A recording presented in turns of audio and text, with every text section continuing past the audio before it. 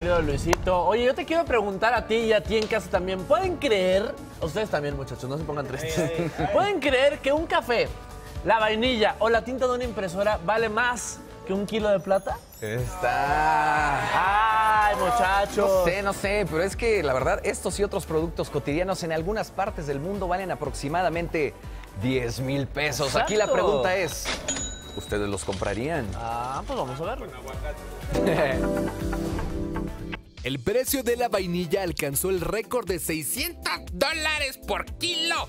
Después de que un ciclón dañara muchas de las plantaciones en Madagascar, lugar en donde se cultivan tres cuartas partes de la vainilla del mundo. Por su lado, el valor de la plata es de 538 dólares por kilo.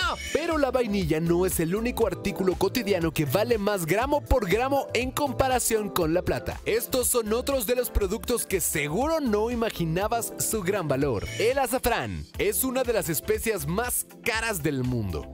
Imagínate que se necesitan alrededor de 150 mil flores para producir un solo kilogramo de los delicados hilos de color dorado que utilizan tanto los chefs. Aunado a esto están las largas horas de trabajo cuidadoso que les lleva a los recolectores para secar y fermentar el azafrán. Café de civeta. Aunque no lo creas, uno de los cafés más caros del mundo se produce mediante la recolección de las heces de los civetas de palma. Sí, escuchaste bien, las heces fecales de un animal. Ahora, ya puedes escupir tu café. Las civetas son una especie de mamífero carnívoro originario de Asia. El kilo de café puede llegar a costar hasta 660 dólares. Y el proceso de su elaboración, por así decirlo, comienza cuando las frutas rojas del café son ingeridas por las civetas.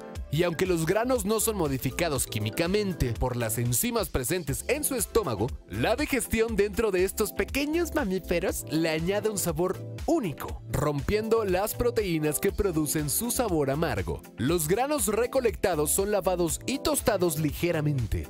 Mmm, cafecito con aroma de civeta. Y finalmente la famosa tinta para impresora. Todos sabemos que comprar cartuchos para tu impresora es algo carito, pero te aseguro que nunca te pusiste a comparar el precio de la tinta con el de la plata kilo por kilo, mano. Si lo hicieras te darías cuenta que sale más barato imprimir con plata pura. Los fabricantes argumentan que su costo debe ser elevado debido a que el hardware o las impresoras son muy baratas y además deben solventar la investigación y el desarrollo que hacen sobre la tecnología de la tinta. Estos fueron algunos de los productos cotidianos más caros que la plata. Yo los dejo porque voy a tomar un café de civeta con unas gotitas de vainilla y adornado con azafrán mientras imprimo las siguientes notas. Yo soy Chant. Sale el sol, lunes a viernes de 8 a 12 del día. Participa en Imagen Televisión.